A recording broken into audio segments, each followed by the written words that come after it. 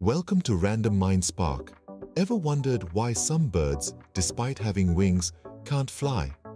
It's a question that has intrigued scientists and bird enthusiasts alike for centuries, and the answer lies in the fascinating world of flightless birds. Among the roughly 10,000 bird species that populate our planet, a small yet remarkable fraction have evolved without the ability to fly. Picture the charismatic penguins of Antarctica waddling on ice and swimming with agility in icy waters, or the swift-footed ostriches sprinting across the African savanna. And let's not forget the elusive kiwis navigating New Zealand's forests in the dead of night. These are but a few examples of the diverse and captivating species of flightless birds. Now, you might be wondering, why can't these birds fly despite having wings? It's a complex question with intriguing answers rooted in evolution, survival strategies, and the mechanics of flight. So, let's delve into the world of these unique creatures and unravel this mystery together.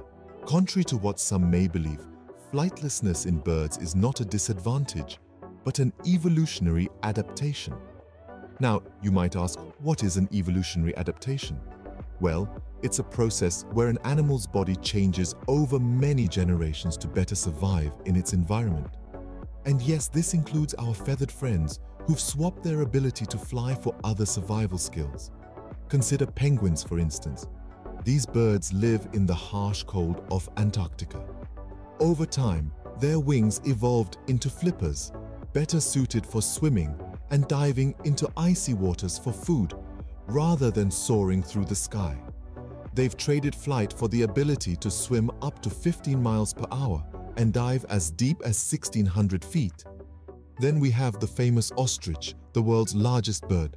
Native to the hot and sparse savannas of Africa, ostriches evolved to be speedy runners instead of flyers. Their long muscular legs allow them to outrun most predators, reaching speeds up to 60 miles per hour.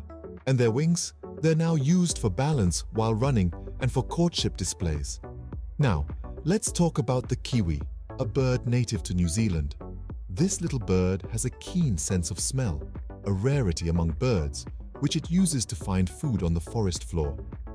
The kiwi's wings are almost non-existent, having evolved to be so small because flying isn't necessary in their predator-free habitat. You see, flightlessness doesn't happen overnight.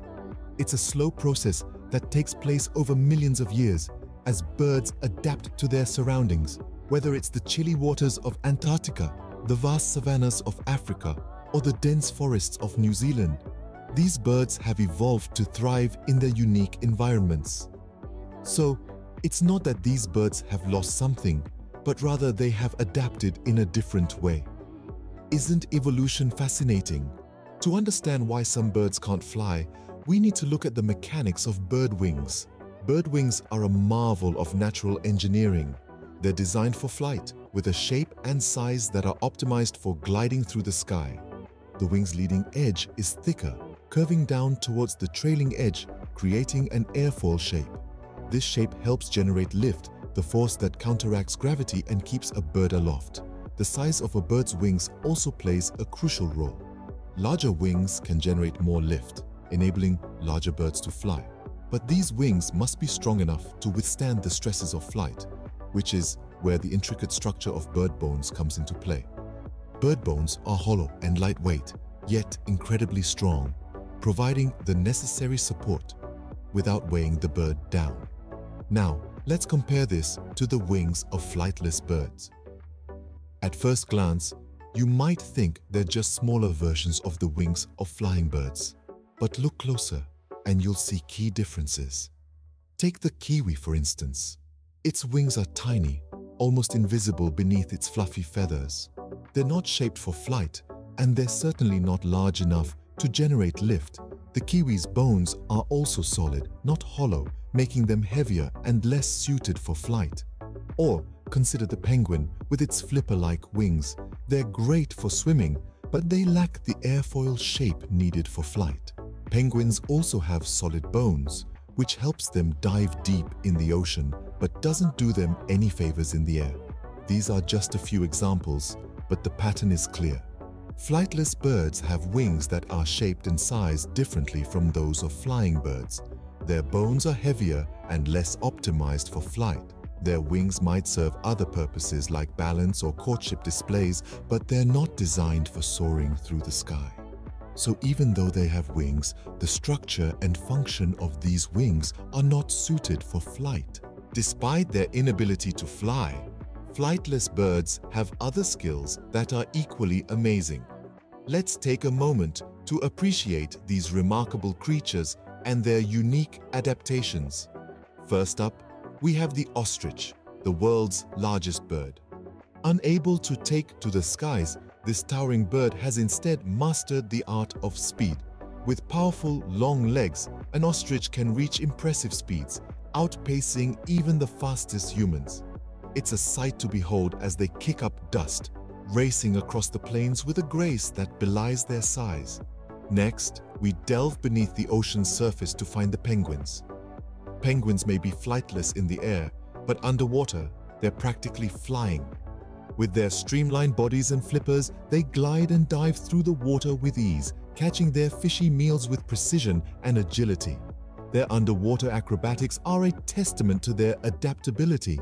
Finally, let's talk about emus. These Australian natives may not have the speed of an ostrich or the underwater grace of a penguin, but they've got strength in their legs that's second to none. These powerful limbs not only enable them to run at a good clip, but also deliver a kick strong enough to deter any would-be predators. Though they might not soar in the sky, flightless birds certainly have their own unique ways to thrive in their environments. So, in the end, being flightless isn't a handicap for these birds, but rather a testament to the diverse ways life can adapt and thrive. We've journeyed through the enigmatic realm of flightless birds, delving into their evolutionary tales and understanding the mechanics behind their wings. These birds are not mere anomalies, but rather vibrant threads in the intricate tapestry of life. They showcase the breathtaking beauty of biological diversity. Next time you spot a flightless bird, remember, it's not missing out on flight, it's just playing the game of life a little differently. Enjoyed our insight into flightless birds? Keen on more natural world mysteries? Don't forget to like the video before you go. Your likes help us and others discover more. Don't miss out on the next Random Mind Spark adventure. Hit subscribe for more exciting videos. Click the bell for instant updates on our fresh content. Thanks for watching and keep curious. Together, let's delve deeper into the wonders of life on our planet.